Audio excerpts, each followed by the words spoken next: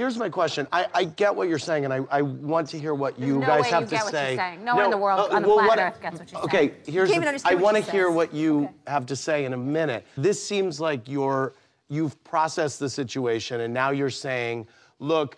Stepping out of this, this is a great opportunity for me to talk about bullying and No. and Yes, that that's that's what you just said. There's like That a is- hotline. that's what you if just you or someone you That's know what you is just being said. bullied, please call I this mean, phone number. You've processed the processed it, situation. now No, you I watched it, it but even before, good. When I was on the boat, I was like, get me off this boat. I mean, I went there with the intention of of thinking it was going to be this fun girls' weekend. Ramona, who hates me and thinks I'm stupid and an hate you. idiot, and I'm I a don't scarecrow, and. I'm all these different things, you know, since day one. All of a sudden wants me to go on this girls' trip. I was actually forced to go on the trip. I was forced by Bravo to go on the trip. That's not true. That but is I true. appreciate it. I but said it's not no. true.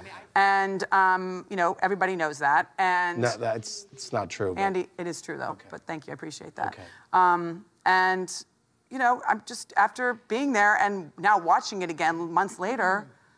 You know, it's just it's really it just makes me very very sad that adults can't. You know that we we as women don't celebrate each other. That you know it's constantly berating and trying to nitpick and the accountability and the chit lists and everything. It's just the weirdest. It's the weirdest situation. It really is. I don't understand why. You know, if I, I, first of all, I said to you, I don't think it's a good idea you go on that trip because I Right. know you have a hard time, you know, defending yourself, and I was worried about you, and you know. Why should I have to defend myself? I'm supposed to be a Jill friend. But that, weren't don't wait, forced wait, wait. go on the but trip, I don't by the way. understand why you. why would I want to go with them? Why? Okay, just Okay, I understand that. And I couldn't So go I don't understand where you go because in and you life know you always that, should and you do said that I said I what you want to do. And I and I We'll- we'll get remember there in a minute. We'll get there in a minute.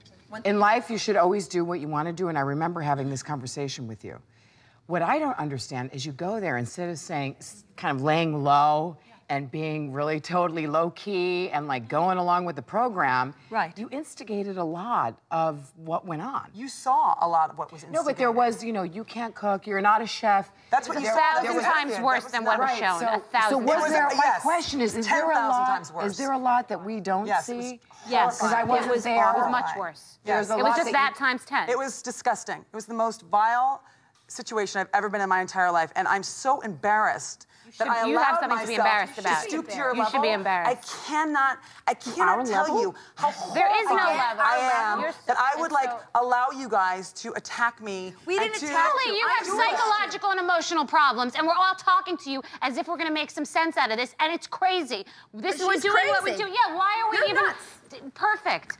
It's not. This is Oh, not a normal person, and it's like we're asked. What am I going to tell her? She's. It's like talking to uh, Humpty Dumpty. It's not going to happen. We're not going to.